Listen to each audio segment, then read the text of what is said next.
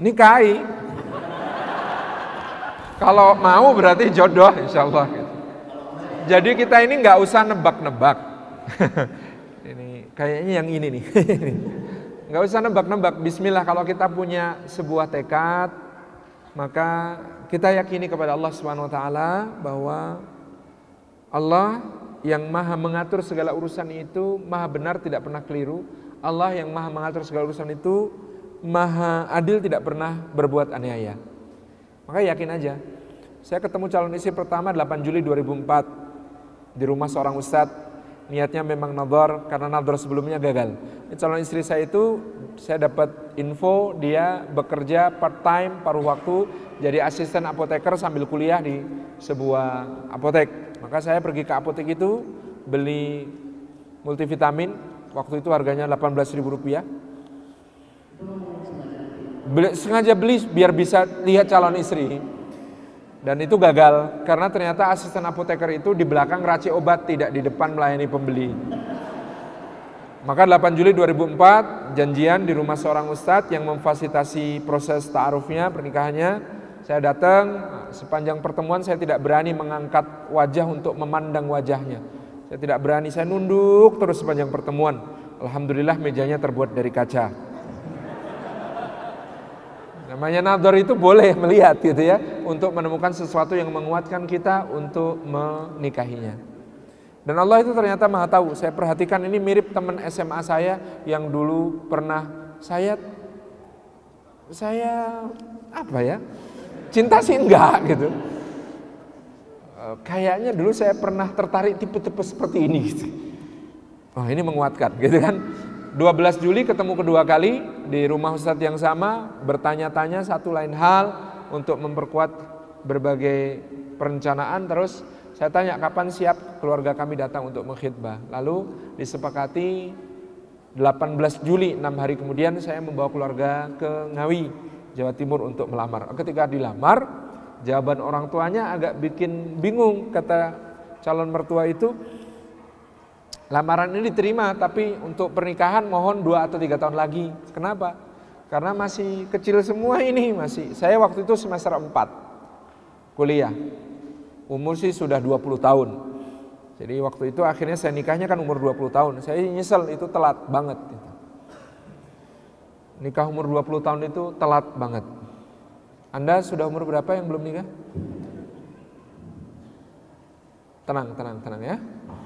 Belanda sudah jauh, sudah tidak dekat lagi. Jadi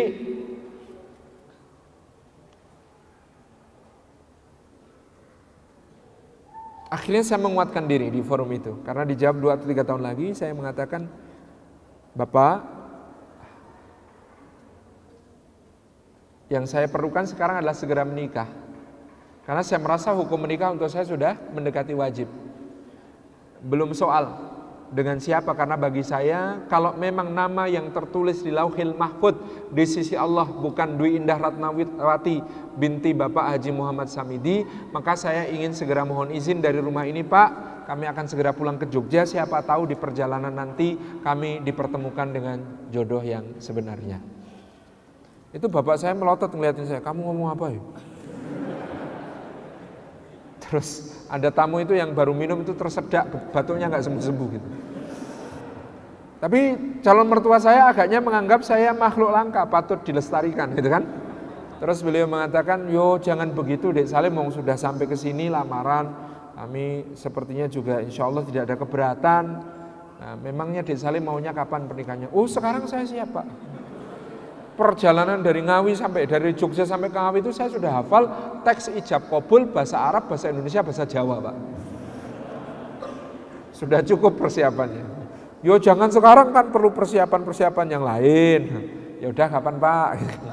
Akhirnya negosiasi berhasil karena mengubah dua atau tiga tahun menjadi satu bulan.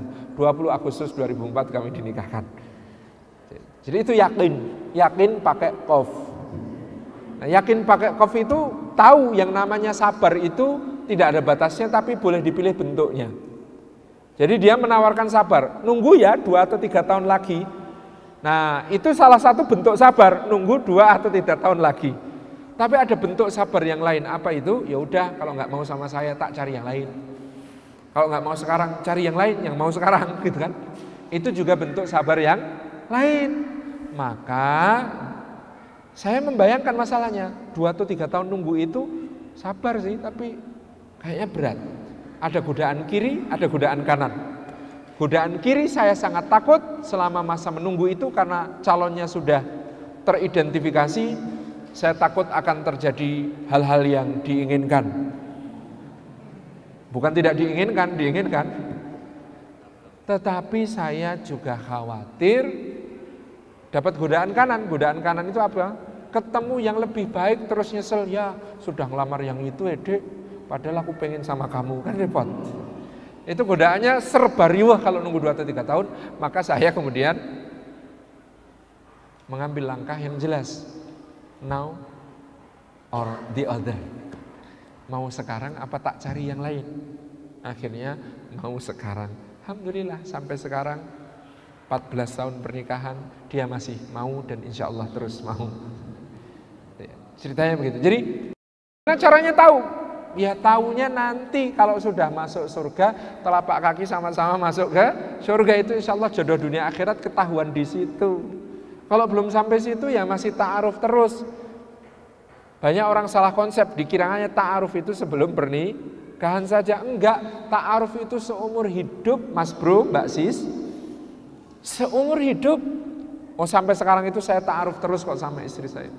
Kalau pulang itu Assalamualaikum, boleh ta'aruf gitu. Terus gitu. Jadi ta'aruf terus sampai akhir hayat insya Allah begitu. Allah